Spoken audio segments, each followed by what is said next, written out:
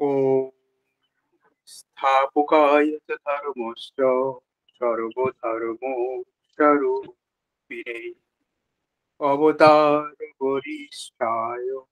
रामकृष्णाय ते नमः जननी शारदा देवी रामकृष्ण जगद्गुरु पादपद्मे त्रय श्रित्वा প্রণমামি নমশ্রী জ্যোতিরাজায় বিবেকানন্দ সূরভে সচ্চিৎ শোক স্বরূপায় স্বামী বেদাপহারিণী ওম অখণ্ড মন্ডলকার ব্যক্তং যেনম চরাচর। তৎপদং দর্শিতং যেন তস্মৈ শ্রী গুরবে নমস্কার, শুভ সন্ধ্যা। ঠাকুর, মা, স্বামীজি ও গুরুদেবের শ্রীচরণে ভক্তিপূর্ণ দণ্ডবত প্রণাম জানিয়ে শুরু করছি। ইয়ং সোলজার সব স্বামীজি আয়োজিত দ্বি সাপ্তাহিক শিক্ষামূলক ভাষণ তত্ত্বামসী আজকের অনুষ্ঠানের প্রধান অতিথি শ্রদ্ধেয় প্রফেসর শ্রী জীবন বন্দ্যোপাধ্যায় মহাশয়। তাকে আমার ভক্তিপূর্ণ প্রণাম জানাই এবং ইয়ং সোলজার্স অফ স্বামীজির পক্ষ থেকে আজকের অনুষ্ঠানে তাকে স্বাগত জানাই। আজকে তার বক্তব্যের বিষয়, মা, আমায় মানুষ করো। এখন আমরা অনুষ্ঠানের শুভ সূচনা করব বৈদিক শান্তি মন্ত্র পাঠের মাধ্যমে। শান্তি মন্ত্র পাঠ করবেন যুব সৈনিক শ্রী সুবীর কুমার দাস মহাশয়।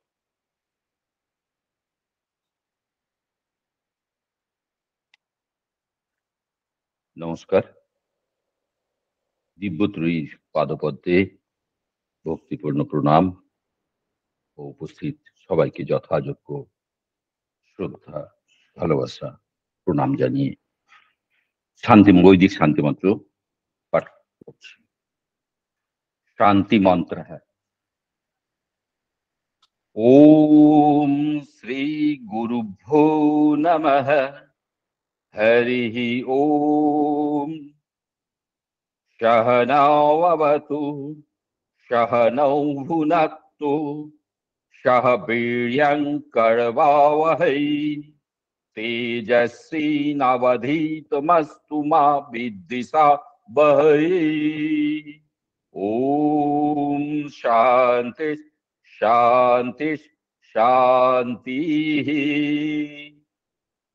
ओम शनो मित्र शन वरुण शनो भवत्तर्यमा शनो इंद्रो बृहस्पति शनो विष्णुक्रम नमो ब्रह्मणि नमस्ते वायो तमेव प्रत्यक्षम ब्रह्मासि तमेव प्रत्यक्षं ब्रह्म वदिष्यामि, ऋतं वदिष्यामि सत्यं वदिष्यामि, तन्मामवतु तद्भक्तारमवतु अवतु माम्, अवतु भक्तारम् ॐ शान्ति शान्ति।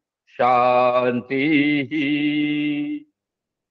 ॐ भद्रं कर्णे विशृण्वाम देवाः, भद्रं पश्येमाक्षवीर्ययत्राः स्थिररङ्गैतुष्टुवागुं सस्तनुवे वसेमदेवहितं यदायुः स्वस्ति नो इन्द्रौ वृद्रस्रवाः स्वस्ति न पूषा विश्ववेदाः स्वस्ति नस्त्राक्ष अरिष्ठुनेमि स्वस्ति नो बृहस्पति दधातु ॐ शान्ति शान्ति, शान्तिः।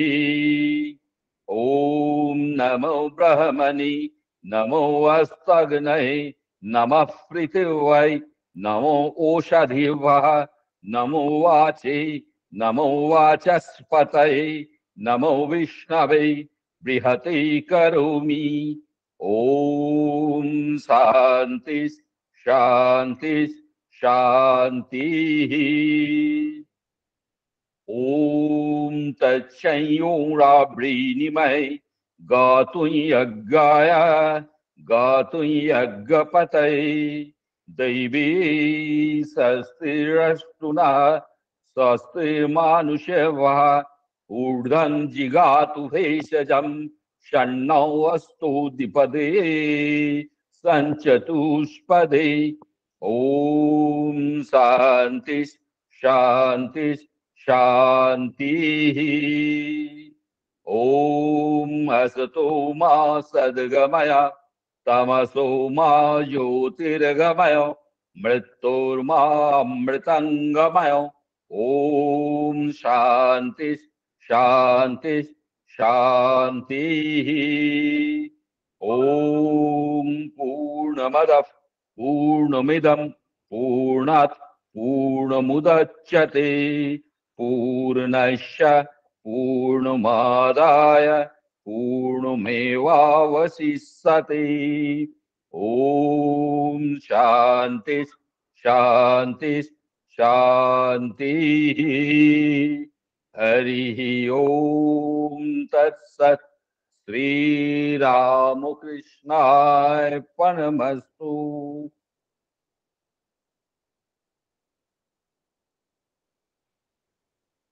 শ্রী সুরেন্দ্রনাথ সরকার তার স্মৃতি কথায় লিখছেন, একবার তিনি মার কাছে উদ্বোধনে দেখা করতে গেছেন।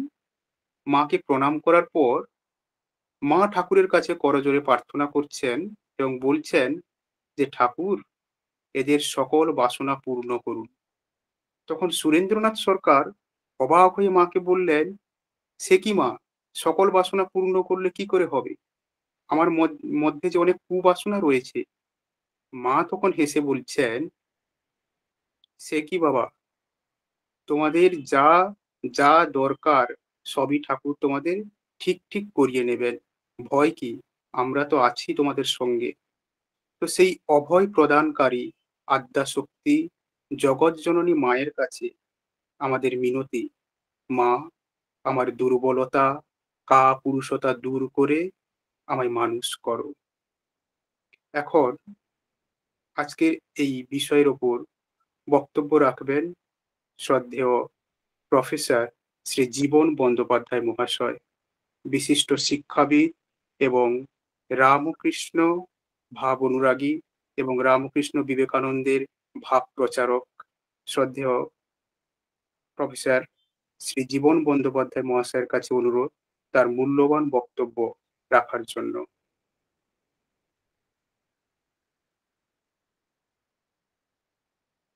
ঠাকুর মা স্বামীজির শ্রীপাদ পদ্মে আমার ভক্তিপূর্ণ প্রণাম নিবেদন করি।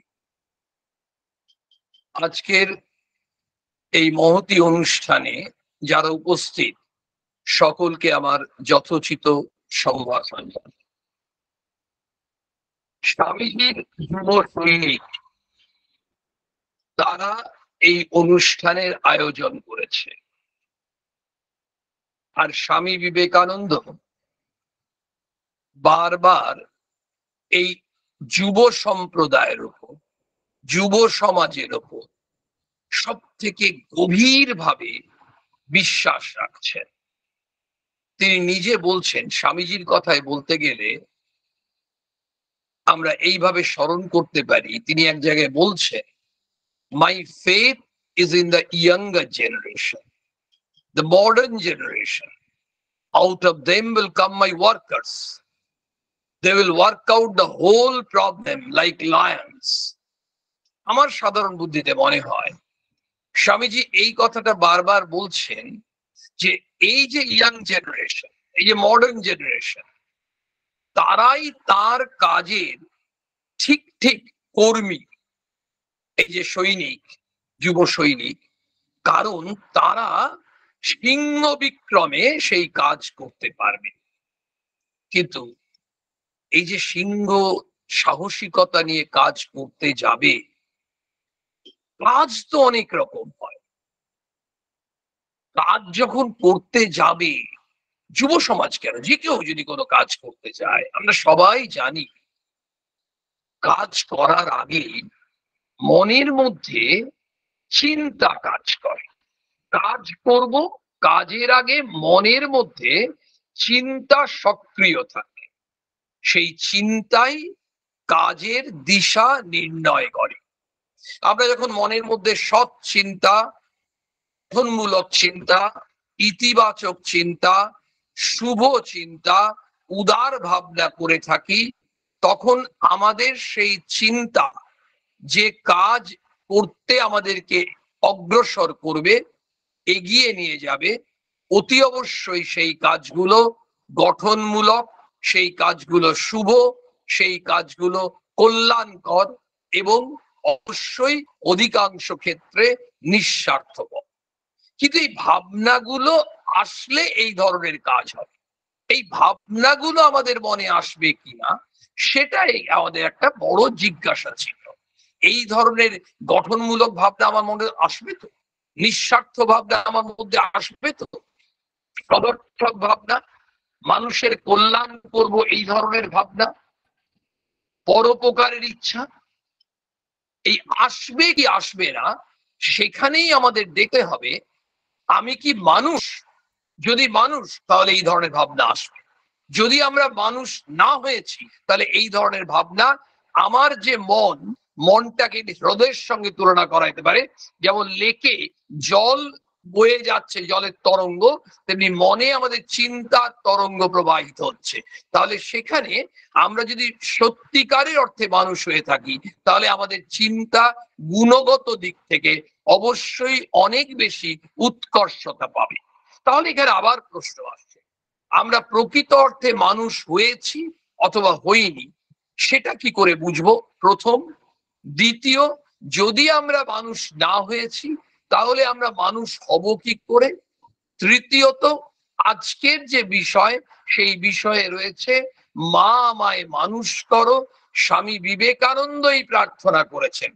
মা, আমার কাপুরুষতা, দুর্বলতা দূর করো, আমায় মানুষ করো।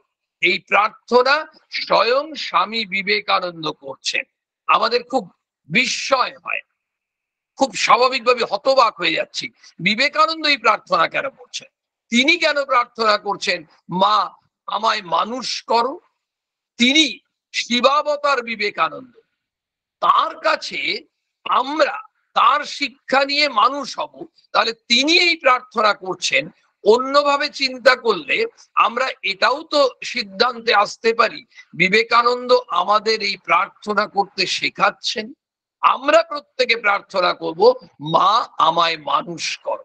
কিন্তু আমরা তখন বিবেকানন্দের প্রার্থনাকে অনুসরণ করে যখন আমরা একই প্রার্থনা মায়ের কাছে করব, তখন আমাদের মনে এই ধরনের জিজ্ঞাসা আসতে পারে, আমাকে মানুষ করো, এই প্রার্থনা যখন করছি, তার মানে আমি ঠিক ঠিকভাবে মানুষ হইনি। জন্মসূত্রে একটি পশু, একটি পাখির যে শিশু একটি বেড়াল হতে পারে, কুকুর হতে পারে, ছাগল হতে পারে, পাখি হতে পারে, তার সন্তান, তারা কিন্তু ঠিক ওই হিসেবেই পরিচিত। ঠিক একইভাবে আমাদের মনুষ্য জন্ম যেটা হয়, সেই মনুষ্য জন্মে আমরা জন্মগত সূত্রে কিন্তু আমরা মানুষ। আবার আমাদেরকেই কিন্তু মানুষ হয়ে উঠতে হয়। তাদেরকে কিন্তু মানুষ হয়ে উঠতে হয় না। মানে তাদেরকে বিড়ালকে বিড়াল হয়ে উঠতে হয় না। কুকুরকে কুকুর হয়ে উঠতে হয় না। তারা জন্মসূত্রেই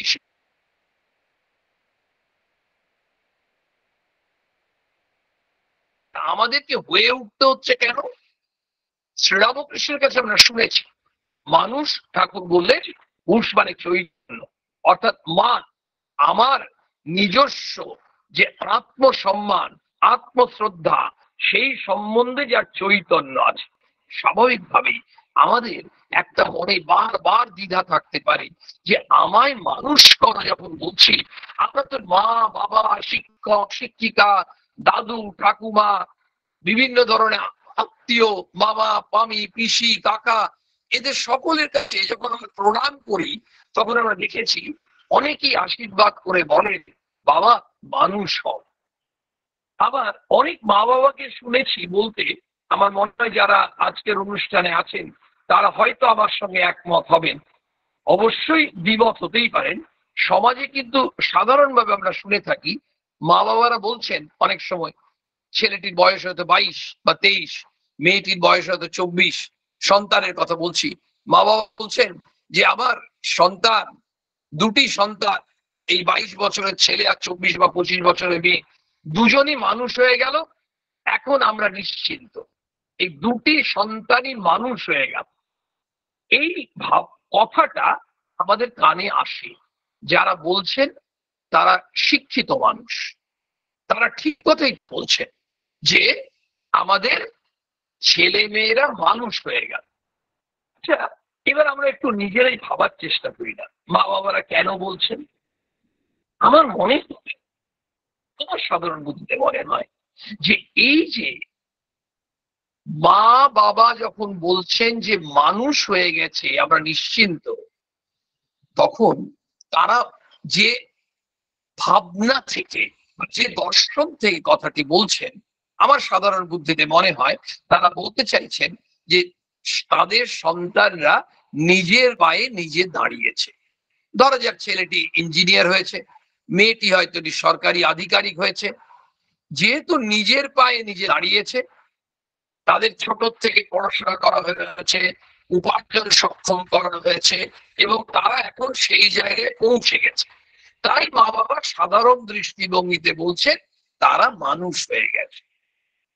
এখন প্রশ্ন, যদি তারা মানুষ হয়ে থাকে, যদি ছেলে ইঞ্জিনিয়ার হয়, মেয়ে সরকারি আধিকারিক হোক, ডাক্তার হোক, উকিল হোক, শিক্ষক হোক, ব্যাংক ম্যানেজার হোক, যাই হোক না কেন, আমাদের লক্ষ্য করতে হবে যে এই যে সমাজে আমরা বাস করি, সেই সমাজে কত কাজ প্রতিনিয়ত হচ্ছে, প্রতিনিয়ত। যেমন আমরা ইসরোর সায়েন্টিস্টদের, সায়েন্টিস্ট কেন? সবার, যাদের এই অবদান, তাদের অবদানের কথা যেমন দেখতে পাচ্ছি। আবার প্রতি মুহূর্তে সরকারি আধিকারিক থেকে শুরু করে বেসরকারি সংস্থার কর্মী থেকে শুরু করে এই যে অসংখ্য মানুষ বিভিন্ন পেশায় যুক্ত, ছাত্র, ছাত্রী, স্কুল, কলেজে রয়েছে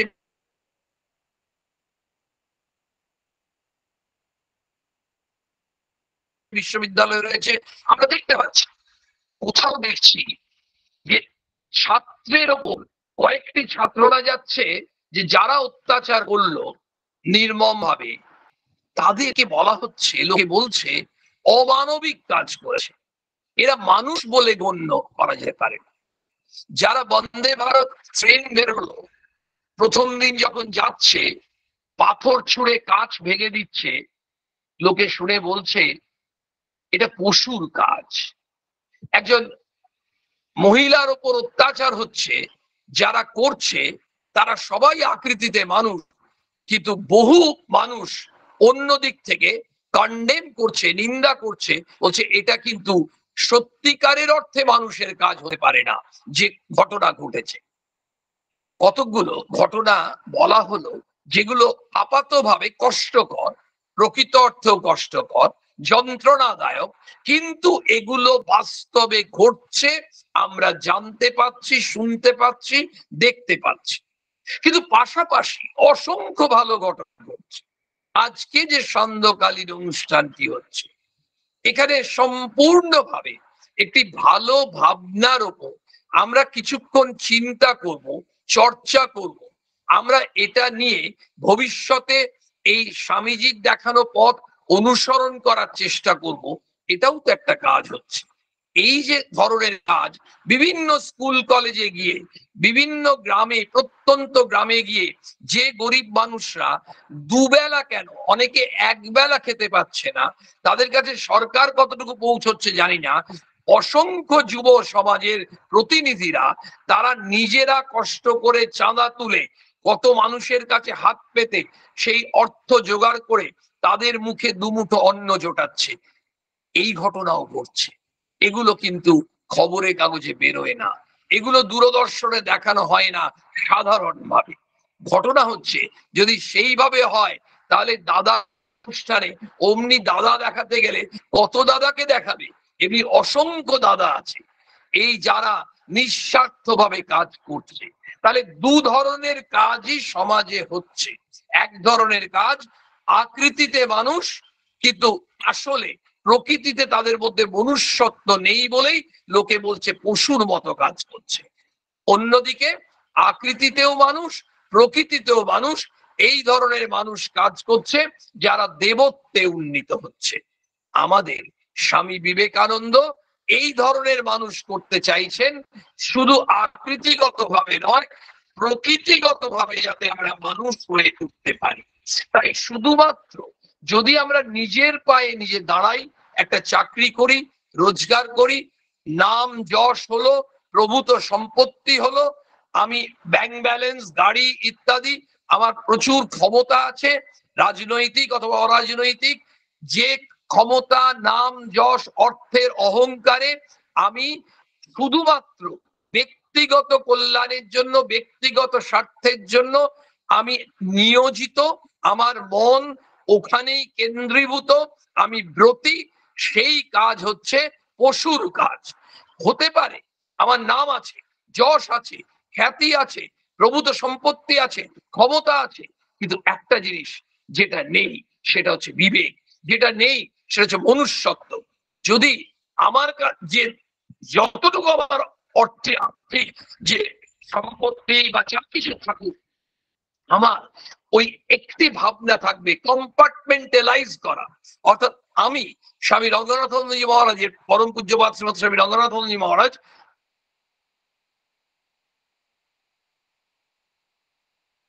তার আশ্রিত কয়েকজন না, তখন কোন একটি বড় বলছেন মহারাজ বলছেন যে দেখো তোমরা যে আয় করবে নিশ্চয়ই করবে।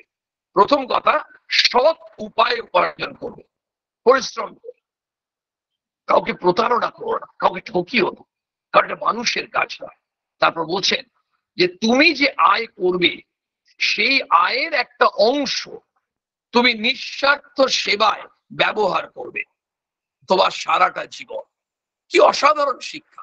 এটাই হচ্ছে কম্পার্টমেন্টালাইজ আমরা এই দুটো ভাগে ভাগ করি। একটা হচ্ছে, আমরা ভাগ করে থাকি কি? একটা হচ্ছে প্রাইমারি নিড আর হচ্ছে লাক্সারি কমফোর্টস যেমন প্রাইমারি নিডে আমরা বলি, আমার শেল্টার দরকার, আমার বস্ত্র দরকার, আমার খাওয়া দাওয়ার দরকার। প্রাইমারি নিডে এখন আরও অনেক কিছু পড়েছে। আরেকটা হচ্ছে লাক্সারি কমফোর্টে যেগুলো আবার না হলেও চলবে। তেমনি এখানে কম্পার্টমেন্টালাইজ আমার ব্যক্তিগত খরচ আরেকটা হচ্ছে, আমার ব্যক্তিগত নয়, কিন্তু নিষ্কার্থ সেবায় আমি কিছুটা আমার ওই আয়ের অংশ কাজে লাগাবো, যেটা পূজ্যপাত মহারাজ আমাদেরকে নির্দেশ দিলেন। অদ্ভুত ভাবে দেখা যাচ্ছে, এই ভাবনা, এই ভাবনাটা কত উচ্চ ভাবনা। এই ভাবনা যার মধ্যে জাগ্রত আছে, সেই মানুষটি সেই মানুষটি কোথায় পৌঁছবে? স্বামী বিবেকানন্দ বললেন, ধর্ম এমন একটি ভাব যা পশুকে, মনুষ্যত্বে ও মানুষকে দেবত্বে নিয়ে যায়। আমার একটি ঘটনার কথা মনে পড়ছে। এই ঘটনাটা হচ্ছে স্বামী বিবেকানন্দ তার শরীরে আছেন সম্ভবত উনিশশো বা উনিশশো এক ওই সময়। স্বামীজির কাছে এক দম্পতি কলকাতা থেকে গেছেন বেলুর মঠে দেখা করতে। প্রণাম করে বলছেন যে আমরা কেদারনাথ ঘুরে এলাম। যখন আমরা শুনি কেদারনাথ, অমরনাথ, আমরা যখন শুনি কাশী গেছেন, হরিদ্বার গেছেন, পুরী গেছেন, তখন আমরা সাধারণত ভাবি যে কত তীর্থ করে এলেন। খুব স্বাভাবিক ভাবে অনেক মানুষ হয়তো ভাবে, আমরা তো ওখানে যাওয়ার সুযোগ পাচ্ছি না, তাহলে আমাদের আর মধ্যে তীর্থ করা হলো না এই জন্মে। স্বামী বিবেকানন্দ সম্ভবত আমাদের সকলের কল্যাণেই ওই ধারণাটা যাতে আমরা না পোষণ করি, তিনি তৎক্ষণাৎ এমন একটি উত্তর দিয়েছিলেন যা প্রতিটি যুগের জন্যই সত্য। শুনেনি তিনি কি বলেছিলেন। দম্পতি বললেন, আমরা কেদারনাথ থেকে ঘুরে এলাম। স্বামীজি বলছেন religion is not a journey from Kolkata to Kedarnath It is a journey from a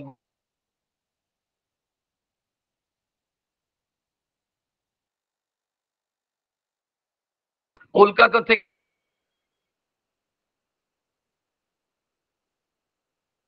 বা হাওড়া থেকে কেদার এটাই ধর্ম নয়। ধর্ম হচ্ছে থেকে দেবত্বে উন্নীত হওয়া, এটাই হচ্ছে ধর্ম। ভায়া মনুষ্যত্ব। স্বামীজি প্রার্থনা করলেন, মা, আমার কাপুরুষতা, দুর্বলতা দূর করো, আমায় মানুষ কর। আমরা আসি, এবার মানুষ হওয়ার পথে এই যাত্রায় আমরা কি কি পাবো মানে কোথায় আমরা অনুকূল পরিস্থিতি পাবো, কোথায় প্রতিকূলতা পাবো এবং সেই প্রতিকূলতা কীভাবে কাটিয়ে উঠবো, আমাদের আজকের বিষয়ের লক্ষ্য কি? আমরা মানুষ হব। লক্ষ্য কিন্তু মানুষ হব। আরেকটা ঘটনা শুনে নি। বেলুর মঠে এক সময় প্রেসিডেন্ট মহারাজ তার কাছে এক মা বাবা তার সন্তানকে নিয়ে প্রণাম করতে গেছে। ঠাকুরের মন্দির, মা স্বামীজি, রাজা মহারাজ মন্দির প্রণাম ইত্যাদি হয়ে প্রেসিডেন্ট মহারাজকে প্রণাম করেছেন। মা বাবা প্রেসিডেন্ট মহারাজকে হাত জোড় করে প্রার্থনা করেছেন। মহারাজ, ছেলেটিকে আশীর্বাদ করে দিন, যেন মানুষ হয়। মহারাজ, স্মিত হাত তোমরা মানুষ হয়ে যাও, তাহলেই তোমাদের ছেলে মানুষ হয়ে যাবে। কি সুন্দর একটি গভীর অর্থ এর মধ্যে থাকল। অর্থাৎ মা বাবা যারা গেছেন, তাদের ধারণা, তারা তো মানুষ হয়ে গেছেন। কারণ তারা মা বাবা। ধরে নেওয়া যাক তাদের কারও বয়স পঁয়তাল্লিশ, আরও পঞ্চাশ, এই ধরনের। তারা তো বহুদিন আগে চাকরি পেয়ে গেছে কারণ আমরা চাকরি পেয়ে গেলে বা ব্যবসা শুরু করে গেলে, নিজের পায়ে নিজে দাঁড়িয়ে গেলে আমরা উপার্জন করতে শুরু করে যাই, তখনই তো আমরা এই ডেফিনেশনটা দিই যে আমরা মানুষ হয়ে গেছি। বা বাবা বাবারা বলেন মানুষ হয়ে গেছে, যদি খুব বড় চাকরি করে, শিক্ষক মহাশয় গর্ববোধ করেন আহ, আমার ছাত্র কি বিরাট মানুষ হয়েছে? কিন্তু দেখা যাচ্ছে বিরাট চাকরি করছে, খুব উচ্চপদস্থ সরকারি আধিকারিক। কিন্তু দেখা যাচ্ছে সরকারি আধিকারিক হয়ে সরকারের পক্ষে কাজ করছেন না। নিজের স্বার্থের জন্য এই ক্ষমতাটাকে অপব্যবহার করছেন। অসংখ্য ঘটনা এই ধরনের ঘটে। তাহলে শিক্ষক মহাশয় যে গর্ব করছেন, আমার ছাত্র কি অসাধারণ মানুষ হয়েছে, সেই গর্ব করার জায়গাটা কিন্তু সেই ছেলেটা দিচ্ছে না। সেই জন্যই মহারাজ হয়তো বললেন যে নিজের পায়ে দিয়ে দাঁড়িয়ে যাওয়া বা চাকরি করা বা উপার্জন করা বা ব্যবসা করা ব্যাংক ব্যালেন্স করা, এটাই মনুষ্যত্বের মাপকাঠি নয়। সেটা বলে তোমরা আগে মানুষ হয়ে যাও। তাদের তো একটা অন্তর্দৃষ্টি থাকে। যে কোনো ভাবেই হয়তো তারা বুঝতে পারছেন বললেন তাহলে ছেলেটি মানুষ হয়ে যাবে। হ্যাঁ এটা কত বড় সত্য। একটি পরিবার পরিবার সামাজিক জীবনের প্রাথমিক পাঠশালা। বিখ্যাত দার্শনিকের কথা, আমার কথা নয়। পরিবার সামাজিক জীবনের প্রাথমিক পাঠশালা। পরিবার থেকে আমরা শিখি, সেই জন্য মা বাবাদের এক বিরাট অবদান রয়েছে। শুধু এই নয়, মা বাবা মানে মা হওয়া এত কঠিন, সত্যিকারের মা বাবা। তার সন্তানকে কি করছেন সন্তানকে বড় হওয়ার জন্য সবকিছু দিচ্ছেন কি দেখা যাচ্ছে? সন্তানকে আরেকটি জিনিস দিতে হবে সেটা হচ্ছে সেই সন্তান যখন বড় হবে, সকলের তরে সকলে আমরা, প্রত্যেকে আমরা পরের তরে। এই ভাবনাটা যেন তার মধ্যে সঞ্চারিত হয়। তার মধ্যে এই ভাবনা যেন সঞ্চারিত হয় যে আমি একা নই, আমাকে আরও দশ জনের জন্য বাঁচতে হবে। They alone live who live for others rest are more dead than alive বিবেকানন্দের বিখ্যাত উক্তি, সেই চিঠি আঠেরোশো চুরানব্বই সালে মাইসরের মহারাজকে লিখেছিলেন। They alone live who live for others তারাই একমাত্র বেঁচে আছে, যারা অন্যের জন্য বেঁচে আছে। অর্থাৎ আমাদের যদি কিছু করতে হয়, একটা জিনিস লক্ষ্য করছি অদ্ভুত ভাবে এই ধরুন আর এক মাস পরে বা এক মাস, এক সপ্তাহ পরে যদি সেই হিসেবে অঙ্ক করা যায়, দুর্গাপুজো আসছে বছরে। এই যে অক্টোবরের যদি কুড়ি একুশ তারিখে দুর্গাপুজো হয়, আজকে সেপ্টেম্বরের তেরো তারিখ হয়ে গেল, এই আগামী দিনগুলোতে পুজোর বাজারে কি ভিড় কি ভিড় থাকবে? এই এই পরিসরে যতগুলো স্কুল, কলেজে বিভিন্ন জায়গায় মূল্যবোধের আলোচনা করতে ঠাকুরমা স্বামীজি কৃপা করে সুযোগ দিচ্ছেন, পৌঁছচ্ছি। বহু জায়গায়, গ্রামে, শহরে ইভেন গত পরশু আমরা দুদিন আগে কলকাতাতেও দেখলাম, একটি প্রতিষ্ঠানে গেলাম, সেখানেও তাই। সর্বত্র দেখলাম, ওই ছেলে মেয়েদের সঙ্গে কথা বলতে গিয়ে ওদের বলছি, তোমাদের পুজোর বাজেট কত? কেউ বলছে দু হাজার টাকা, কেউ বলছে তিন হাজার টাকা। ওদের কাছে একটা অনুরোধ রাখলাম, তোমরা একশো টাকা সরিয়ে রাখতে পারবে? কোথাও বললাম দুশো টাকা। ওরা বলছে ওটা ওর অসুবিধাই নেই। আমি তিন হাজার টাকা বাজেট আমি আঠাশশো টাকাতেই এই জামা কাপড়টা কিনে নিতে পারব।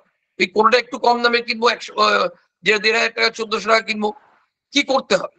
ওদের যখন বলা হচ্ছে, একশো টাকা বা দুশো টাকা। দেখবে প্রচুর দুস্থ মানুষ আছে, অনেক গরিব বাচ্চা আছে, মেয়ে যার পরনে ফ্রক নেই। একটা বাচ্চা ছেলে যার পরনে একটা হাফ প্যান্ট আছে, তাও সে একদম ছেঁড়া, তালি লাগানো। ওই বাচ্চার নাক দিয়ে ফোঁটা বেরোচ্ছে, খেতে পায় না। ওই বাচ্চাগুলো তো পুজো দুর্গা পুজোর তো, মা দুর্গার পুজো তো ওদের জন্য নয়, তা তো নয়। কিন্তু ওদের মা বাবারা তো ওদেরকে হাফ প্যান্ট কিনে দিতে পারবে না। ওদেরকে কি আমরা পারি? অধিকাংশ জায়গায় প্রায় সবাই হাত তুলেছে, আমরা এটা করব। আমি জানি না কতজন করবে। কিন্তু এটা বিশ্বাস আমার।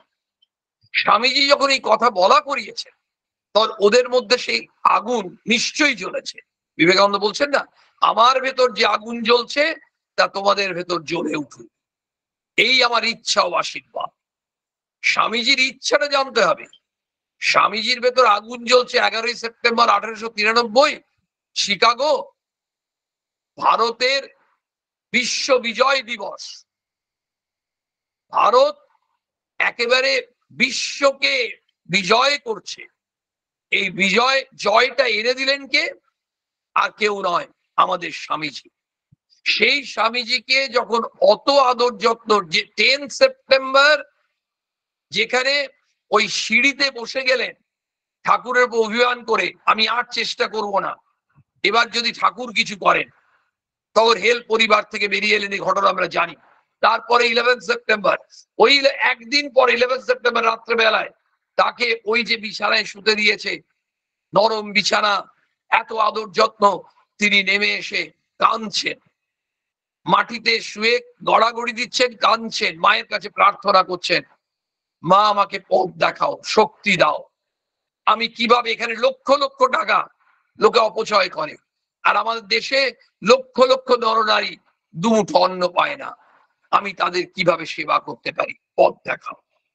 সেই বিবেকানন্দের ইচ্ছা, আজও বিবেকানন্দের সেই ইচ্ছা। ইচ্ছা পরিবর্তন হয়নি। আমাদের মধ্যে সেই ইচ্ছা দিচ্ছে। বলছেন, এই ইচ্ছা তোমার মধ্যে জাগুক তখনই তুমি সত্যিকারের মানুষ বলে পরিগণিত হবে। আমরা লক্ষ্য করব, এই যে ছেলে মেয়েদের কথা বলছিলাম, তারা বেশ কিছু ছেলে মেয়ে খুব স্বাভাবিকভাবেই এই কাজ করবে। তার একটি ঘটনা বললে বোঝা যাবে, বছর দুই, তিন আগে একবার দুর্গাপুজোর হয়তো কোভিডের আগের বছরও হতে পারে। দুর্গাপুজোর সময় একটি জায়গায় আমাদের যুব পাঠচক্র তখন চলতো অফলাইনে বেশি করে চলতো। কোন একটি জায়গায় যুব পাঠচক্রের বেশ কয়েকটি যুবক, যুবতী, আমাদের স্বামীজির যুব সৈনিক, তারা দোকানে জিনিস কিনতে গেছে। ওই ফ্রক, প্যান্ট, গেঞ্জি কিনতে গিয়ে যখন বলছে যে, দেখান, যিনি দোকানের মালিক তিনি দেখাতে বলেছেন, একটি জামার দাম সাড়ে চারশো টাকা। তখন উনি বলছেন যে, কতগুলো লাগবে? একটা না দুটো? এই ছেলে মেয়েগুলো বলেছে, আমাদের পঁচিশটা লাগবে। বলছে, এতগুলো? বলছে হ্যাঁ ভাই বোনদের জন্য কোন ভাই বোন বলছে প্ল্যাটফর্ম দুটো ভাই বোন সুবারবান লোকালগুলো যায়, বর্ধমান থেকে হাওড়া, ওই ধরনের কোন একটা স্টেশনে প্ল্যাটফর্মে যে বাচ্চাগুলো থাকে যাদের মায়েরা ওই বাচ্চাদেরকে প্ল্যাটফর্মে ফেলে, হয়তো এখানে ওখানে কাজ করে, একটু অর্থ রোজগার করতে যায়, ওখানেই ওদেরই মধ্যে কোনো একজন বড় দাদা, সেই প্ল্যাটফর্ম দুটো দাদা সবাইকে দেখছে বা দিদি, তাদেরকে, তাদের কথা অনুভব করেছে। অদ্ভুত ব্যাপার, দোকানের বিক্রেতা বললেন, আমার ভুল হয়ে গেছে। কর্মীকে বলছেন, তুই একশো পঁচিশ টাকার প্যান্টগুলো দেখা। কারণ ওগুলো প্ল্যাটফর্মের ওই গরিব বাচ্চাগুলোকে দেবে রে। তার বলার ঢং এই ধরনের। এই ছেলে মেয়েগুলো গর্জে উঠেছে। কাকু, আমাদের সাড়ে চারশো টাকার পঁচিশটাই দেবেন। যদি সাড়ে চারশো টাকার গেঞ্জি আমরা পরি, তাহলে আমাদের এই প্ল্যাটফর্ম দুটো ভাই বোনরা ওই সাড়ে চারশো টাকার গেঞ্জি পাবে অদ্ভুত! ওই ভদ্রলোক তার মধ্যে নিশ্চয়ই, এটুকু আমরা বিশ্বাস করব, প্রত্যেকের মধ্যে সেই দেবত্ব আছে। তার মধ্যে দেবত্ব ঘুমিয়েছিল। সেই দেবত্বকে জাগ্রত করতে সাহায্য করল এই যুব সৈনিকরা। যেমন আজকের যুব সৈনিকরা এই সান্ধ্যকালীন এই অসাধারণ পবিত্র অনুষ্ঠানের আয়োজন করেছে। যেমন করে থাকে এই ফর্টনাইটলি বুধবারে বুধবারে এবং এর আগেও আমি যে কয়েকবার আসার সুযোগ পেয়েছি, আজকেও পেলাম। তার জন্য অবশ্যই আমি সকলকে আমার অন্তরের কৃতজ্ঞতা জানাই। আমরা এসেছিলাম, আমরা মানুষ হতে চাইছি। এখন মানুষ হতে যাওয়ার পথে কিছু থাকবে ফেভারেবল কন্ডিশনস কিছু থাকবে আনফেভারেবল কন্ডিশনস যেমন কোনো একটা সময় দেখা যাবে যে আমার সঙ্গে যারা বন্ধু আছে, আমি যাদের সঙ্গে মিশছি, তারা লাইক মাইন্ডেড আমরা ভাবছি এই ধরনের কাজ করব। যেমন একটু আগে শুনলাম যে চার পাঁচজন ছেলে মেয়ে গিয়ে ওই দোকানে কিনতে গেছিল। তারা লাইক মাইন্ডেড তারা বিবেকানন্দ ভাবনা একসঙ্গে নিয়ে অনুসরণ করার চেষ্টা করছে, যেমন আমাদের এই গোষ্ঠীর যুব সৈনিকরা করার চেষ্টা করছে। এটা অনুকূল পরিস্থিতি। প্রতিকূল পরিস্থিতি কি? যারা আছে, তাদের পারস্পরিক মানসিক দ্বন্দ্ব চলছে। কেউ বলছে এটা করা উচিত, কেউ বলছে না, কেন করতে যাব? ঘরের খেয়ে মনের মোষ তাড়াতে যাব কেন? কেউ বলছে সৎভাবে কাজ করব, কেউ বলছে সৎ হয়ে লাভ কি সমাজে? যত পারব প্রতারণা করব যত পারব সমাজে মানুষকে ঠকাবো এবং আমি নিজে আর্থিক দিক দিয়ে এবং সামাজিক দিক দিয়ে আমি এমন একটা স্টেটাসে পৌঁছে যাওয়ার চেষ্টা করব, লোকে দেখবে আমাকে। সত্যিকারের সম্মান করবে না, কিন্তু লোকে আমাকে দেখবে। এতেই আনন্দ। ঘটনা হচ্ছে, এই দ্বন্দ্ব যখন চলছে, তখনও বিবেকানন্দ সলিউশন দিচ্ছেন। কি সুন্দর।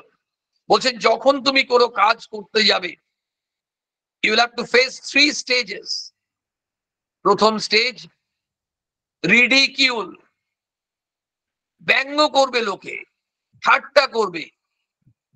করুক। কয়েকজন বলবে তোদের মাথায় বুদ্ধি নেই। তোরা একদম বোকা, তোদেরকে কেউ কেউ হয়তো বোকা বানাচ্ছে। কেন তোরা অন্যের উপকার করতে যাবি? আমাদের বোঝা। বিভিন্ন রকম ভাবে ঠাটকা করবে, টিটকিরি দেবে, ব্যঙ্গ করবে। আসবে ফার্স্ট স্টেজ একেবারে inevitable none can avoid you আসবে।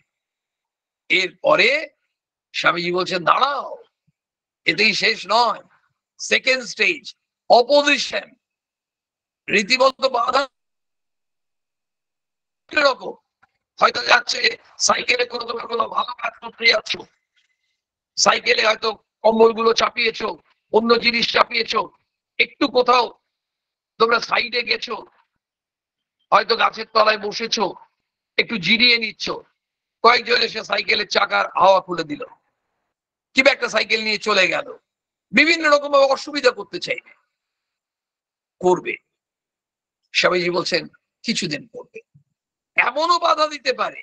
তোমরা যে কাজ করছ মানে স্বামী যুব সৈনিকরা যারা এই কাজ করবে, অন্য জায়গায় গিয়ে তাদের সম্বন্ধে নিন্দা করবে। এদের স্বার্থ আছে, এরা স্বার্থ নিয়ে কাজ করছে, এদের সাহায্য করবেন না। স্বামী বিবেকানন্দ সম্বন্ধে বলেননি? স্বামীজি যখন শিকাগোতে বিশ্ববিখ্যাত হয়ে গেলেন, এক ভদ্রলোক, এক পরিবার তাকে আমন্ত্রণ জানিয়েছে তার বাড়িতে খাওয়ার জন্য। স্বামীজি সেই আমন্ত্রণ, আন্তরিক আমন্ত্রণ স্বীকার করেছেন। তিনি গেছেন, গিয়ে দেখছেন বাড়ি বন্ধ করে যারা আমন্ত্রণ জানিয়েছেন তারা চলে গেছে। তার পরের দিন তারা এসে স্বামীজির পা ধরে ক্ষমা চাইছেন বলছেন, পুরো ঘটনাটা বললেন, আমাদেরকে কিছু মানুষ এসে আপনার সম্বন্ধে এমন এমন কথা বলেছেন এবং বলেছেন আপনি খুব, যত রকম কুৎসা রটানো যায় এবং আমাদের বলেছেন কোনোভাবে তাকে এন্টারটেন করবেন না। আমরা ইনফ্লুয়েন্সড হয়ে গেছিলাম। পরে জানতে পারি এবং বুঝতে পারি, আমাদের চেতনা ফিরে আসে আমরা আপনাকে নিতে এসেছি। বিবেকানন্দের কথা সত্য। বিবেকানন্দ বলছেন third stage acceptance ridicule opposition and acceptance finally acceptance হবে যারা সাইকেলের চাকার হাওয়া দিয়েছিল, যারা অন্য জায়গায় গিয়ে নিন্দা করছিল, যারা বিভিন্ন রকম ভাবে ব্যঙ্গ করেছে, তারা এসে বলল, তোরা এর পরে কোথায় যাচ্ছি সেই শীতে? তোমরা বললে আমরা অমুক অনাথ আশ্রমে যাচ্ছি। ওখানে ষাটটা বাচ্চা আছে। ওদের সঙ্গে সারা দিন আমরা পিকনিক করব।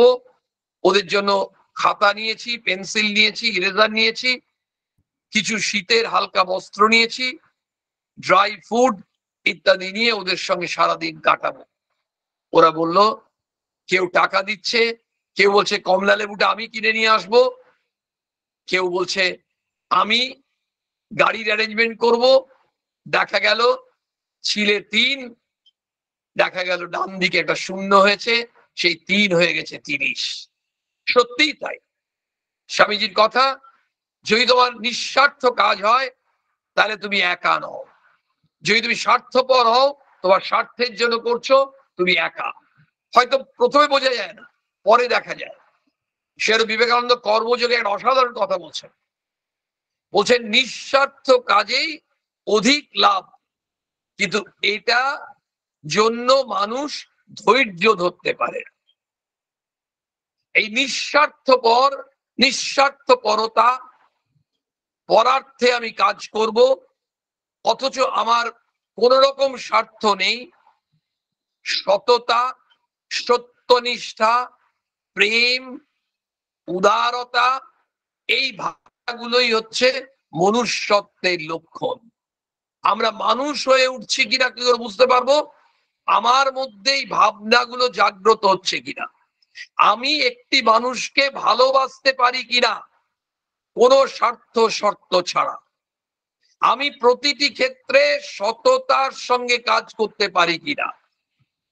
আমি আমার স্বার্থকে বিসর্জন দিয়ে আমি মানুষের সেবা করতে পারি কিনা? এই ভাবনাগুলো, আমি যখন কাউকে সেবা করতে যাচ্ছি, জাতি, ধর্ম নির্বিশেষে, অর্থাৎ সংকীর্ণ মানসিকতা থেকে মুক্ত হতে পারি কিনা? এগুলো হচ্ছে মনুষ্যত্বের মাপকাঠি। যেমন একজন মাস্টার ডিগ্রি হোল্ডার অথবা পিএইচডি করেছে, তার কতগুলো সার্টিফিকেট দেখলে বোঝা যায়। চাকরিতে ইন্টারভিউ দিতে গেলে যখন সিভি দেওয়া হয়, তারা যখন ডকুমেন্টস ভেরিফাই করে, আমাদেরকে দেখাতে হয়। আমরা যখন ফ্লাইট ধরতে যাই এয়ারপোর্টে ঢোকার সময় আমাদের আইডেন্টিটি কার্ড দেখাতে হচ্ছে। সে যাই হোক ভোটার কার্ড হোক প্যান হোক পাসপোর্ট হোক, আমরা দেখাতে হচ্ছে। তেমনি আমি মানুষ কিনা আইডেন্টিটি স্ট্রাকচারালি সেই মানুষের আইডেন্টিটি প্রয়োজন নেই। কিন্তু সত্যিকারের প্রকৃত অর্থে রিয়েলিটি আমি হিউম্যান বিইং কিনা তার পরিচয় হচ্ছে, একটি মানুষ কষ্টে আছে, সেটা শুনে আমার কান্না পাচ্ছে। একটি মানুষ আমি চিনি না, কিন্তু সে পাশ করেছে পরীক্ষায়, একটি জায়গায় চাকরি পেয়েছে, সেই খবরটা শুনে আমার আনন্দ হচ্ছে। অর্থাৎ অন্যের আনন্দে আনন্দ, অন্যের দুঃখে দুঃখ, এটা হচ্ছে মনুষ্যত্বের লক্ষণ। কিন্তু এই মনুষ, মনুষ্যত্ব আমি অর্জন করব কি করে? খুব স্বাভাবিক ভাবেই শ্রী শ্রী মায়ের একটি কথা আছে, বলছেন, তুমি ভালো হতে চেষ্টা করো, ক্রমে সব হবে। অর্থাৎ আমরা মানুষ হওয়ার চেষ্টা করব। ঠিক আস্তে আস্তে হবে। তখন আমাদের ভয় লাগে, দ্বিধা লাগে। হবে তো? মা সেখানে বলছেন, ঠাকুরকে ডাকো, আমি রইল অর্থাৎ আমাদের সেই ঠাকুরের কাছে, মায়ের কাছে প্রার্থনা করতে হবে। প্রার্থনার বিরাট শক্তি। কি প্রার্থনা করব? মায়ের কাছে আমরা কি চাইব? আমরা চাই নাম যশ, আমরা চাই অর্থ, আমরা চাই ক্ষমতা, আমরা চাই ব্যক্তিগত সুখ, আনন্দ। এগুলোর জন্য আমরা লালায়িত। এবং আমরা সেগুলো ঈশ্বরের কাছে প্রার্থনা করি। আমরা চাই আমার ছেলে যেন এই চাকরিটা পায়।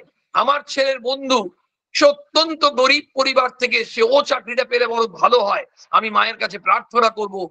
ওই ছেলেটি যেন চাকরিটা পায়, আমার ছেলে না পেলেও হবে। কারণ আমার ছেলে এখন এক বছর পরে পেলেও তার কোনো অভাব নেই, পারিবারিক সঙ্গতি আছে, ওই ছেলেটির চাকরিটি ইমিডিয়েট দরকার। এই যে ভাবনা, এই ভাবনাটা যদি তার মধ্যে পারকোলেট করতে পারি, তার জন্য আগে এই ভাবনা আমার নিজের মধ্যে আসতে হবে। বিবেকানন্দ সাধু আছেন বি অ্যান্ড মেক আমাদের সব থেকে মুশকিল হচ্ছে আমরা নিজেরা ধরে নিই আমরা হয়ে গেছি। শুধু আমাদের অন্যকে করতে হবে। স্বামী তা বললেন না। বললেন, মা, আমায় মানুষ কর। বিবেকানন্দ নিজে প্রার্থনা করছেন। আর আমাদের সকলকে শেখাচ্ছেন, তোমরা এই প্রার্থনা করো, আমায় মানুষ করো। এই যে মানুষ হওয়া, মানুষ হব, এবার প্রথম প্রশ্ন আমাদের স্বাভাবিকভাবে মনের মধ্যে যাবে আমরা কি করে বুঝব? যে একজন দেখলে মানুষ কতগুলো কথা আসছিল। তাহলে প্রথম এই সততা, সত্যনিষ্ঠা যে কথাগুলো আসছিল কি? এর চারিত্রিক বৈশিষ্ট্য। সে স্বামীজি বারবার বলছেন character building education man making education আজকের যুগে আমরা একটু পাল্টে দিয়েছি। Career building education money making education character building money man making কে আমরা নিজের মতো পরিবর্তন করে কেরিয়ার বিল্ডিং ও মানি মেকিং এডুকেশনে কনভার্ট করিয়েছি। প্রশ্ন, তাহলে কেরিয়ারের তৈরি করার কথা ভাববো না? ছেলে মেয়েদের বলব না? শিক্ষক সমাজ ছাত্রছাত্রীকে বলবে না? কেরিয়ার তৈরির পথ দেখাবে না? নিশ্চয়ই দেখাবে। Career with character career without character blunder এইটাই আমরা গণ্য করতে সে স্বামীজি বললেন না, আমরা কি ধরনের শিক্ষা চাই? We want that education by which character is form প্রথমেই বলেছেন। আবার এক জায়গায় বলছেন, ওখানেই বলছেন লাস্টে by which one can stand on one own feet তার মানে তো কেরিয়ার তৈরি হবে নিজের পায়ে নিয়ে দাঁড়াতে হবে। আত্মনির্ভরশীল। স্বামীজি এক জায়গায় বলছেন, জগতের সমস্ত ধনরাশির চেয়ে মানুষ হচ্ছে মূল্যবান। Let us try to analyse it আমরা আজকের এই অনুষ্ঠান বিশ্লেষণ করার চেষ্টা করি। স্বামীজি কেন বললেন? বলে জগতের সমস্ত ধনরাশির চেয়ে মানুষ হচ্ছে মূল্যবান।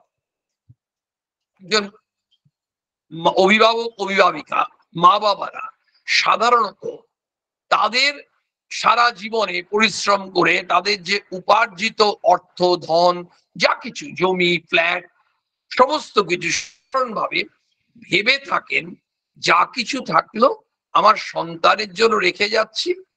আমাদের শরীর চলে গেলে সন্তানের কোনোদিন কোনো অভাব হবে না। ও যাই করুক, আমি যা ব্যবস্থা করে দিয়ে গেলাম, ওর জন্মটা কেটে যাবে। তার পরবর্তী প্রজন্মরও কিছুটা হয়ে যাবে। এত দূরও ভাবেন অনেকে। বহু জায়গায় দেখা যায় মা বাবার এই ভাবনা আকাঙ্ক্ষা পূরণ হয় না। এটা বাস্তব, কঠোর বাস্তব। অসংখ্য এই ধরনের ঘটনা যারা এই অনুষ্ঠানে আছে, তারাও অনেকেই অনেক ঘটনা জানেন। আমরাও দেখেছি।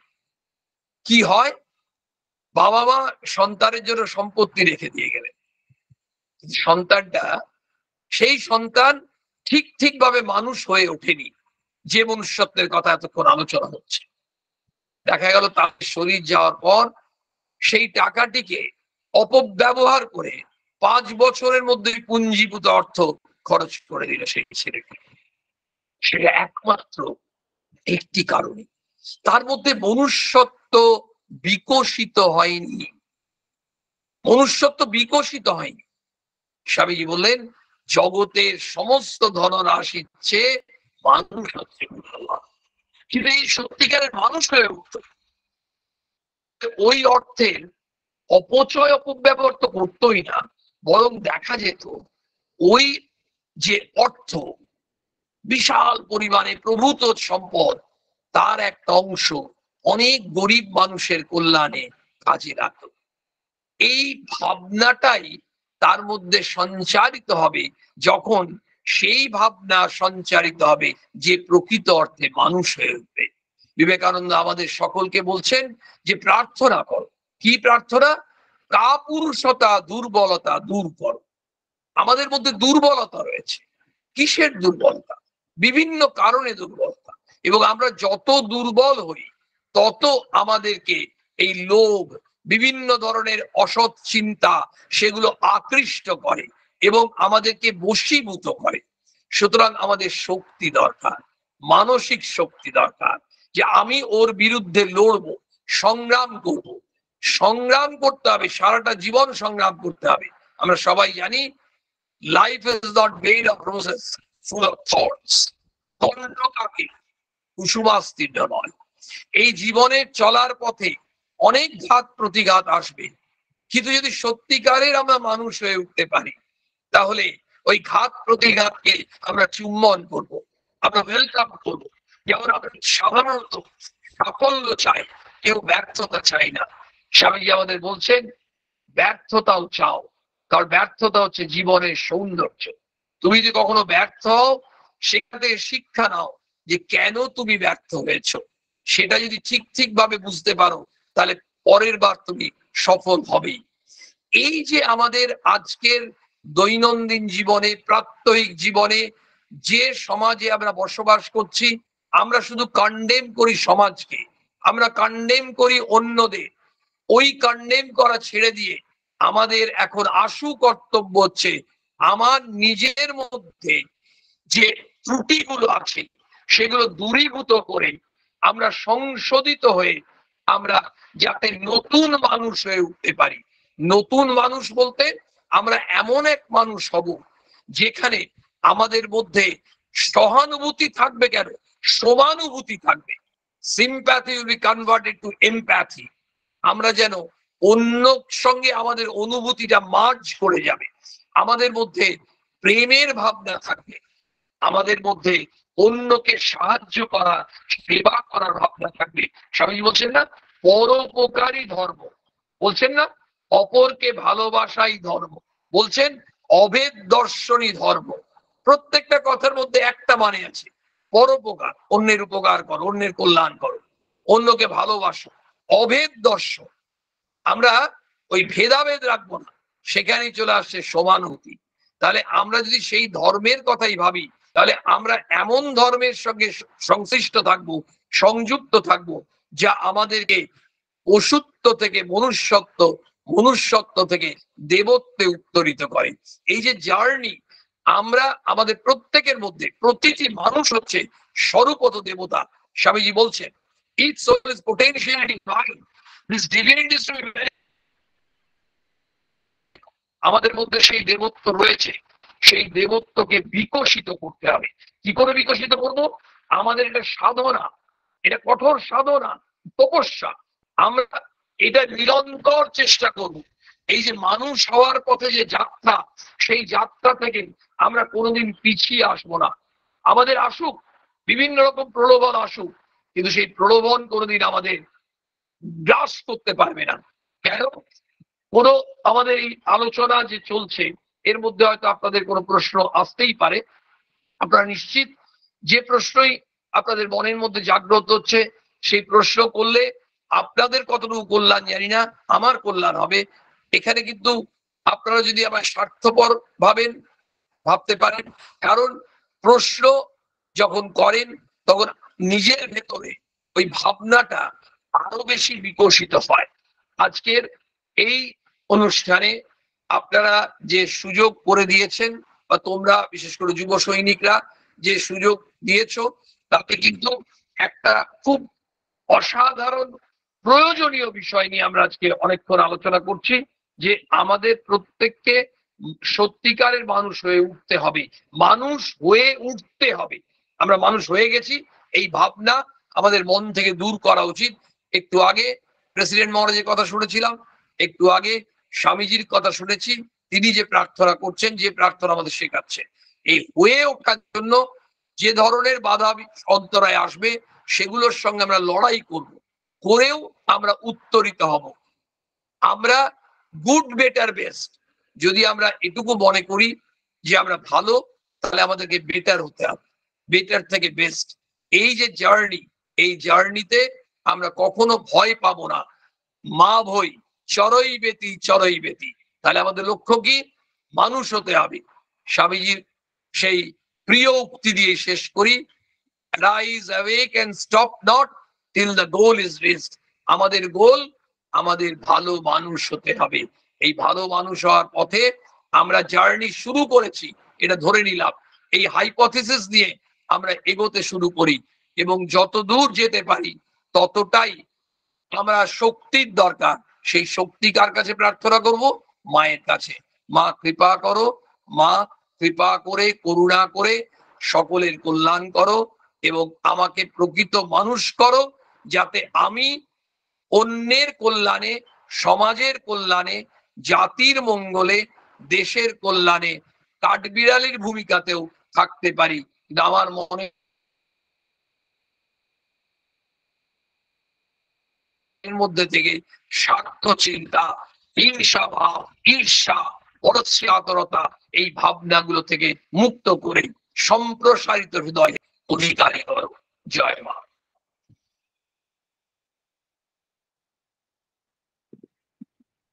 আমরা এতক্ষণ অসাধারণ বক্তব্য শুনলাম শ্রদ্ধেয় স্যারের কাছ থেকে।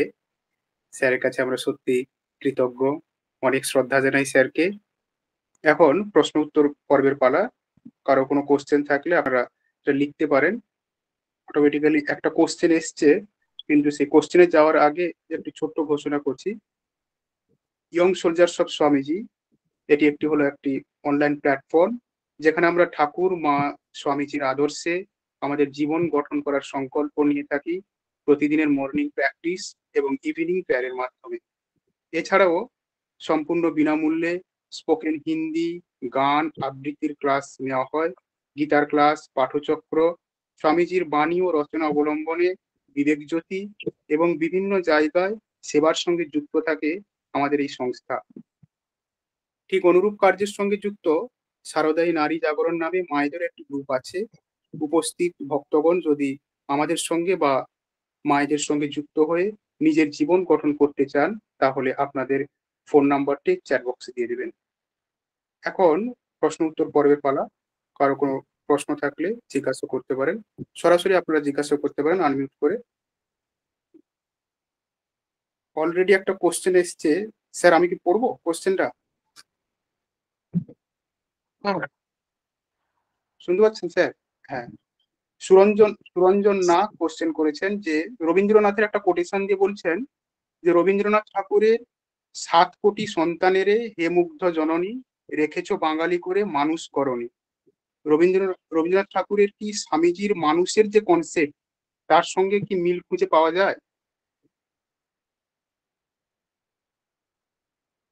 যখন রবীন্দ্রনাথ ঠাকুরও বললেন, মানুষ করনি। স্বামীজিও বলছেন, মা আমায় মানুষ করো। মানুষ শব্দটা যে অর্থে বিবেকানন্দ দেখতে চাইছেন, আমাদের যে কোনো মহামানব, যে কোনো মহাপুরুষ, প্রত্যেকেরই দৃষ্টিভঙ্গিতে মিল আছে বা থাকবে, এটাই আমরা আশা করতে পারি। কারণ, গ্রেট মেন থিঙ্ক অ্যালাইক খুব স্বাভাবিকভাবেই তাদের প্রকাশভঙ্গি এক না হতে পারে। কিন্তু নেতাজি সুভাষচন্দ্র বোস, দেশবন্ধু চিত্তরঞ্জন, অরবিন্দ বিবেকানন্দ, রবীন্দ্রনাথ, যাদের কথাই আমরা ভাবি না কেন, প্রত্যেকেরই হয়তো এক একজন এক এক ভঙ্গিতে বলেছেন, কিন্তু প্রত্যেকেরই তখন চাইছেন, খুঁজছেন ভালো মানুষ। আমরা যে যুগটার কথা ভাবছি, যখন আমরা রবীন্দ্রনাথকে পেয়েছি যখন আমরা এই মহাপুরুষদের পেয়েছি, সেই যুগে বিবেকানন্দের কাছে আরেকটা এই প্রসঙ্গে উত্তরটা দিতে গিয়ে আরেকটা কথা বললে হয়তো সুবিধা হবে। আঠেরোশো সাতানব্বই সালে যখন বিবেকানন্দ ভারতবর্ষে ফিরলেন পাশ্চাত্য বিজয়ের পরে, তখন মাদ্রাজে আঠেরোশো সাতানব্বই সালের ফেব্রুয়ারি মাসে কিছু যুবক স্বামীজির কাছে এসে দেখা করে। করে বলেছিলেন যে, আপনার এত শক্তি এত সাহস। আপনি ভারতবর্ষকে স্বাধীন করে দিন রাজনীতিতে এসে। তখন স্বামীজি বলেছিলেন যে, ভারতবর্ষকে কালই স্বাধীন করে দেওয়া যায়। মানে অর্থাৎ নিশ্চয়ই বলতে চেয়েছেন খুব তাড়াতাড়ির মধ্যে। কিন্তু এই স্বাধীনতা রক্ষা করার জন্য মানুষের প্রয়োজন। মানুষ কোথায়? মানুষ চাই। তাহলে স্বামীজি তখন যে মানুষের সংখ্যা খুব কম ছিল তাও নয়। তারপরে তিনি যে অর্থে মানুষ চাইছিলেন, সেই মানুষ ছিল না যারা দেশকে স্বাধীন হলেও সেই স্বাধীনতাকে রক্ষা করতে পারে। কিন্তু উনিশশো সাতচল্লিশে ভারতবর্ষ স্বাধীন হওয়ার পর, আজ এত বছর পরেও সেই একই কথা স্বামীজি কিন্তু আজকে দু হাজার তেইশেও বলছেন। মানুষ চাই মানুষ চাই। রবীন্দ্রনাথ বলেছেন, মানুষ করণী। এই যে মানুষ করণী অর্থাৎ মানুষ in the true sense of the term যেটা বিবেকানন্দ বলছে অর্থাৎ সকলের সেই প্রার্থনা, সেই প্রকৃত অর্থে আমায় মানুষ করো। এই প্রশ্নের এই উত্তরটি আমার মনে হচ্ছে।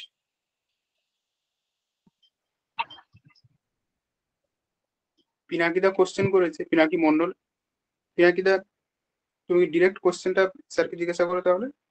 না, পড়ব।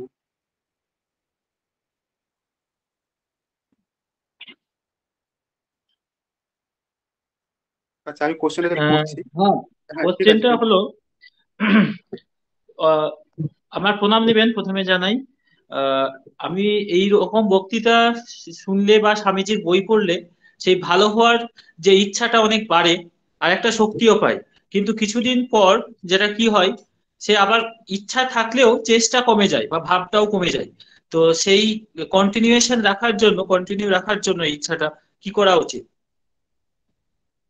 এই যে মনের মধ্যে কষ্ট হচ্ছে, যে ইচ্ছেটা দমে যায় যখন, তখন খারাপ লাগছে। সেখান থেকেই কিন্তু প্রশ্নটা উঠে এসেছে। মানে যার ভেতরে কোনো কষ্ট নেই সেই প্রশ্নটা করবেই না। এটাই হচ্ছে একটা পজিটিভ দিক। প্রথম কথা, আমাদের এই যে যুব সৈনিক যে প্রশ্নটা করেছে, এটা আমরা সবাই বুঝতে পারছি। তার মধ্যেই এই ভাবনা আসবে, এই প্রশ্ন জাগতে পারে। যার বিবেককে দংশন করছে, কষ্ট দিচ্ছে। আরে, এত ভালো সত্যি ভাবনা, আমি স্বামীজির বই পড়ে এত অনুপ্রাণিত হচ্ছি, ভালো ভালো বক্তৃতা শুনে এত প্রাণিত হচ্ছি, কাজ করতেও ইচ্ছে করছে, আবার কিছুদিন পর থিতিয়ে যাচ্ছে। এই থিতিয়ে যখন যায়, তখন ওই আগুনটাকে জ্বালিয়ে রাখার জন্য আমরা কি করতে পারি? এক, স্বামীজির বই পড়ে শক্তি পাওয়া যায়, একটু আগেই শুনলাম ঘটনা। স্বামীজির বাণী, স্বামীজির বক্তৃতা, স্বামীজির চিঠি। স্বামীজি যে বলছে যে আমার চিঠি পড়বে সে আবার শক্তি পাবে। স্বামীজির চিঠি পড়তে অনুরোধ করব। একদমই নিজের অভিরুচি কি পড়বে, তবু বলছে। স্বামীজির পত্রাবলী, স্বামীজি বলছেন যে আমার চিঠি পড়বে সে আবার শক্তি পাবে। তো আমরা যদি এটা করতে পারি, এক, তার এই বইগুলো, বক্তৃতা, বাণী, চিঠি, রচনা, এগুলো যদি আমরা পড়ার অভ্যাসটা চালিয়ে যাই, তাহলে শক্তি যদি ওখান থেকে পাচ্ছিলাম, ওই শক্তি তো আমরা পেতেই থাকি খুব স্বাভাবিকভাবেই আমরা যখন এমন হলো যে ওগুলো পড়া বন্ধ করে দিলাম, তখন আমরা ওই বই, পড়াগুলো থেকে যে শক্তিটা পাচ্ছিলাম, সেই শক্তির উৎসটা তো বন্ধ করে দিলাম। একটা দরজা যদি বন্ধই করে দিই পারমানেন্টলি তাহলে ওই দরজা দিয়ে তো ঢোকা বেরোনো হচ্ছে না। তাহলে এটাকে আমরা কন্টিনিউ করব। দুই এই যে ভালো ভালো বক্তৃতা ইউটিউব হোক বা নিজেদের এমনি অনুষ্ঠান হোক যখন শুনলাম, সেগুলো শুনব, যতটুকু তার থেকে নেওয়া নেব। তিন, আমি প্রত্যেক দিন চেষ্টা করব একটা না একটা যেন ভালো কাজ করতে পারি। শুনলে হাসি পাবে, কিন্তু আমি কথার কথা বলছি। জাস্ট বাড়ি থেকে বেরোনো হলো গেটটা বন্ধ করে বেরোচ্ছি, হঠাৎ দেখা গেল, আমি উদাহরণ সহজ উদাহরণ, অনেক সময় মনে হতে পারে এটা আবার কি উদাহরণ? আমি জাস্ট বলছি। পাশের বাড়িতে চোখ পড়ল, দিনের বেলা, সকাল নটা নাগাদ, পাশের বাড়ির উঠোনের লাইটটা জ্বলছে, ধরা যাক ওটা সিক্সটি ওয়াটের লাইট কেন জ্বলছে? কারণ ভেতরে সুইচ আছে ভেতরের সুইচটা বন্ধ করতে কেউ ভুলে গেছে। জাস্ট দাদা, কাকু, যে সম্বোধন হয় একটু সুইচটা অফ করে দিন, বাইরের লাইটটা জ্বলছে। মনে হলো কিছুই তো কাজ না হ্যাঁ কিছুই কাজ না তবু কাজটা খারাপ তো নয়। মানুষটা ভালো তো হলো। পরের দিন হয়তো অন্য একটা কাজ, আমি কিন্তু স্বামীজিকে বলব, প্রত্যেকদিন আমাকে একটা ভালো কাজ করার সুযোগ এটা অভ্যেস রাখলাম। চার প্রত্যেক দিন আমি একটা ভালো, ওটাই চার হবে, এটা তিন করলে ভালো হয়। প্রত্যেক দিন আমি একটা সৎ চিন্তা মনের মধ্যে জাগার চেষ্টা করব, যে সারাদিনের মধ্যে যে চিন্তাটা পরে কাজ করব, কিন্তু চিন্তা করার চেষ্টা করব। পাঁচ এবং এই সবগুলোর ওপরে মানে অ্যাবাবল আমি প্রত্যেক দিন প্রার্থনা করব যে তুমি যে পথ দেখাচ্ছ স্বামীজি, তোমার কাজ করার যেন শক্তি আমি সবসময় পাই। স্বামীজি তখন এসে বলবেন, ওরে বোকা! বোকা বলবেন না, উনি উনি বোকা বলা পছন্দ করছেন। উনি বলছেন যে, আবরণ কাজ করে যাও। আমার শরীর না থাকলেও আমার শক্তি তোমাদের সঙ্গে কাজ এটা স্বামীজির কথা। সুতরাং স্বামীর শক্তি তো এমনিতেই কাজ করবে প্রার্থনাও করবে।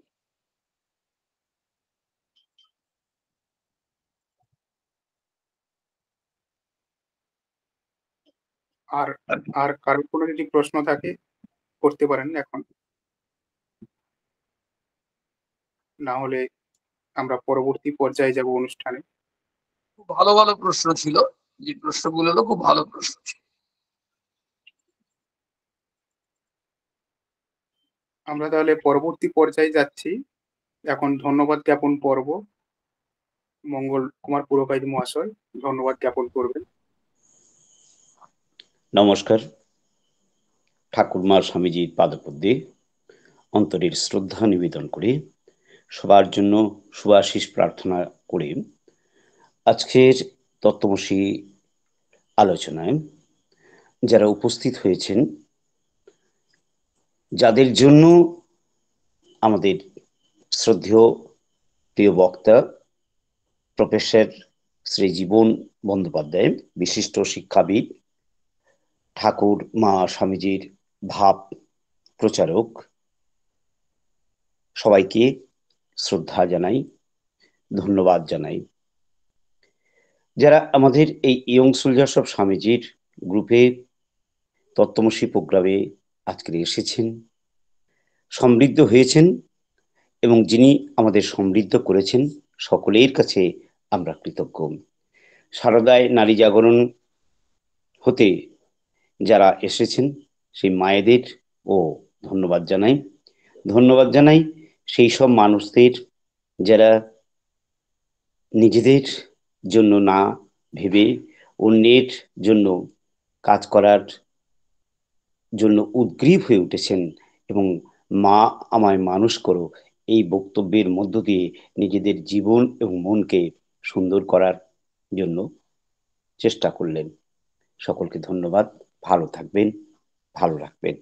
নমস্কার। ঠাকুর ঠাকুরমা স্বামীজির পাদপদ্মে আবার সবার জন্য শুভ প্রার্থনা জানাই। প্রণাম নেবেন, স্যার। আবার আসবেন। আমরা অনুষ্ঠানের একদম শেষ পর্যায়ে চলে এসেছি। আমাদের এখন সমাপ্তি সংগীত হবে। সমাপ্তি সংগীত পরিবেশন করবেন রামপ্রসাদ সাহা মহাশয়।